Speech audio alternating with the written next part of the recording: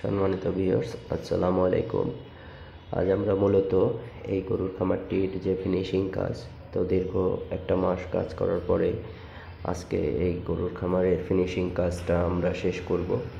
তো আপনারা যে ভিডিওটা দেখতে পাচ্ছেন তো এটা হচ্ছে পূর্বে, অর্থাৎ আমাদের কাজ শেষ হওয়ার আগে কেমন ছিল সেই কাজটাই আপনাদেরকে দেখানোর জন্য তুলে ধরা হলো। তো আমরা যখন প্লাস্টারের আগে যে কাজটা করেছিলাম, তো প্লাস্টারের আগে যখন আমরা কাজটা করেছিলাম তখন প্লাস্টার হয়েছিল না।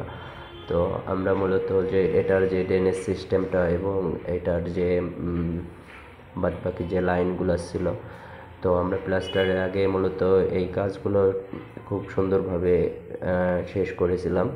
তো শেষ করার পরে আমাদের বাদবাকি যে ব্যালেন্সটা ছিল হচ্ছে আপনার ইলেকট্রিক কাজ এবং এটার প্লাস্টার। তো আজ আমরা এই ভিডিওটার শেষে, অর্থাৎ আপনাদের এই যে প্লাস্টারের আগে যে ভিডিওটা দেখছেন, এটার পরেই ফিনিশিং কাজ আমরা কীভাবে করলাম, তো সেটা দেখানোর চেষ্টা করব।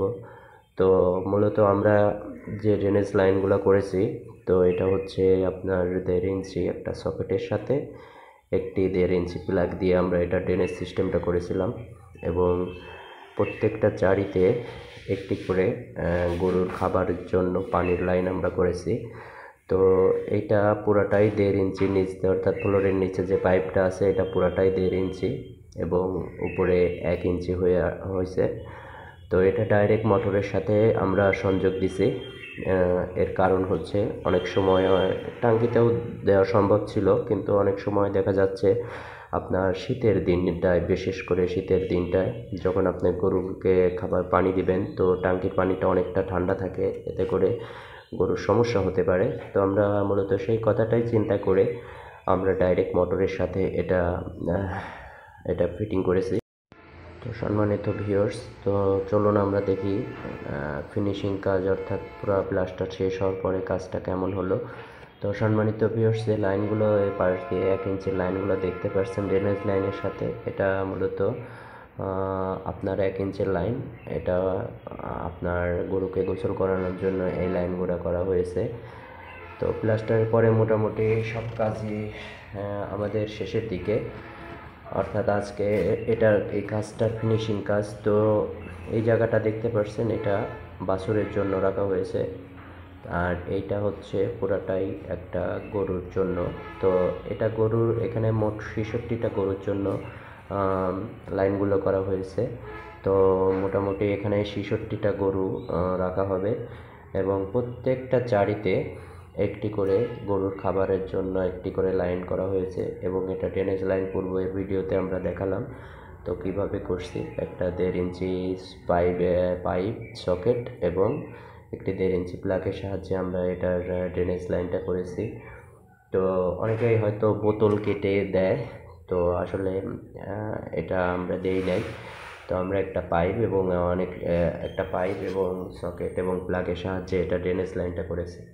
তো সম্মানিত ভিউয়ার্স আমাদের ইলেকট্রিক যে কাজটা ছিল, সেটাও মোটামুটি শেষের দিকে শেষ হয়ে গেছে। তো আমাদের যে এখানে ফ্যানগুলো দেখতে পারছেন ভিউয়ার্স তো এখানে পাঁচ ফুট পর পর একটি করে ফ্যান দেওয়া হয়েছে, অর্থাৎ আর ছেষট্টিটা গরুর জন্য। তো এখানে মোট টোটালি পাঁচ ফিট পর পর করে একটি ফ্যান দেওয়া হয়েছে, মোট আটষট্টিটা ফ্যান এখানে ব্যবহার করা হয়েছে। তো এখানে যে যে চারিগুলো দেখতে পারছেন ভিউয়ার্স একা চারিগুলোর ফিনিশিং অর্থাৎ যে প্লাস্টারের কাজগুলো ছিল সেটা শেষ। আর এটা দেখতে পাচ্ছেন ভিউয়ার্স এই যে ড্রেনেজ লাইনগুলো খুব সুন্দরভাবে এগুলো করা হয়েছে। তো এটার সাথে সিমেন্ট বালি লেগে আছে, এটা পরে পরিষ্কার করে দেওয়া হবে। আর এটা পুরাটাই আপনার ফিনিশিংয়ের পরে যে কাজটা, সেই কাজটা আমরা আপনাদের সামনে দেখাচ্ছি। তো সম্মানিত ভিউয়ার্স আজ দীর্ঘ এক মাস কাজ করার পরে আজকে কাজটা হ্যান্ড ওভার হবে। তো আমাদের চারপাশে দেখতে পাচ্ছেন ভিউয়ার্স লাইট তো লাইট ফ্যান সব কিছুই মোটামুটি শেষের দিকে। তো সামনে আর একটা যে খামারটা দেখতে পাচ্ছেন ভিউয়ার্স ইট দিয়ে গাঁথা আছে, ওটা মহিষের জন্য হবে। তো এটা শেষ হলে মূলত আমরা ওই কাজটা শুরু করব। তো এখানে মূলত আপনার